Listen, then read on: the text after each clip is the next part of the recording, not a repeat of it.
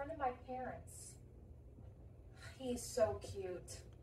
Okay, well, like picture Mark, but more mature. Yeah.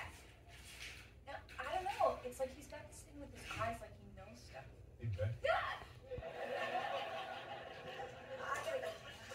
I wasn't talking about you. Worse so. Hey, what's going on? Becky's got a crush on me. I do not.